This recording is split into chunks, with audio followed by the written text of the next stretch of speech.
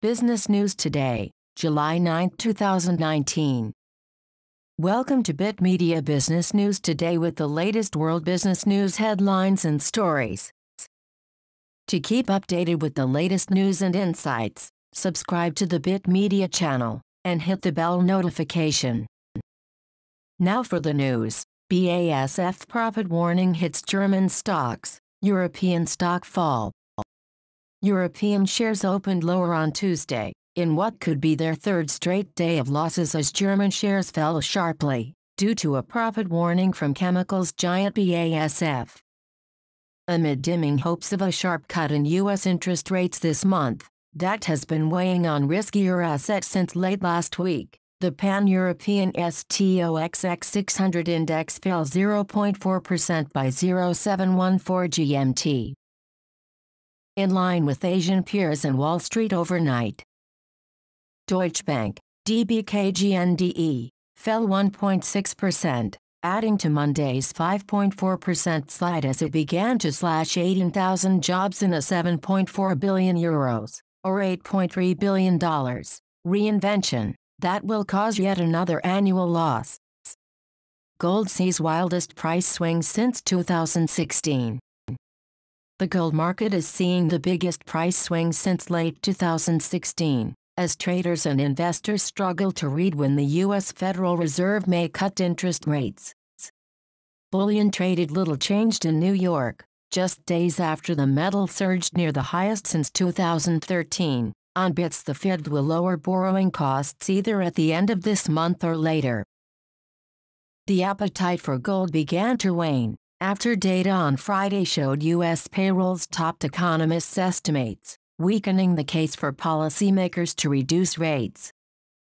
Facebook not invited to White House Social Media Summit, company.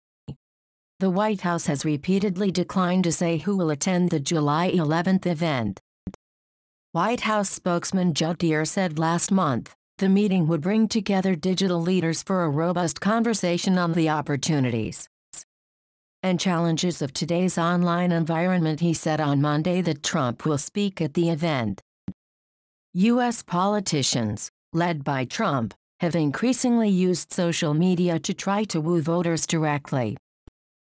Trump has said on many occasions that he would not have been elected without Twitter and Facebook. But Republican Trump has regularly attacked Facebook and Twitter as being biased in favor of Democrats without offering evidence. In March, Trump tweeted that Facebook, Google, and Twitter, not to mention the corrupt media, are so on the side of the radical left Democrats. But fear not, we will win anyway, just like we did before. All three companies have denied political bias. More than half of UK firms fear hit from post-Brexit immigration plan. More than half of British companies with foreign staff fear they would be hurt by the government's plans for a post-Brexit immigration system, according to a survey published on Tuesday.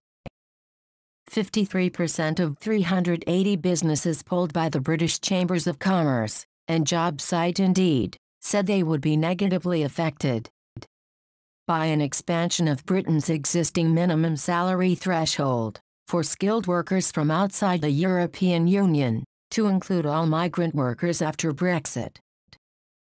57% said they would be hurt by plans for a 12-month work and residency limit on lower-skilled immigrants. Businesses in many sectors are finding it increasingly difficult to hire workers with the right skills, Pawel Adrjan, an economist at Indeed, said. Virgin Galactic to go public in billionaire space race. British billionaire Richard Branson's space tourism unit Virgin Galactic plans to go public, the Wall Street Journal reported Tuesday. The firm will list its shares as part of a deal with social capital Hedosophia Holdings, a special purpose acquisition company created by venture capitalist Chamath Palihapitiya. The newspaper reported citing people familiar with the matter. Social Capital Hedosophia Holdings, formed by Palihapitiya's social capital and venture capital firm Hedosophia in 2017, will reportedly invest $800 million in Virgin Galactic for a 49% stake. The billionaire business magnate is currently locked in a tense space race with rivals, including Tesla CEO Elon Musk's SpaceX and Amazon boss Jeff Bezos' Blue Origin. It has so far sold 600 tickets at a price of $250,000 each. Virgin Galactic's VSS Unity ship was launched into space with three astronauts on board in February. Thank you for listening to the Bit Media Business News today. To keep updated with the latest business news, subscribe and hit the bell notification.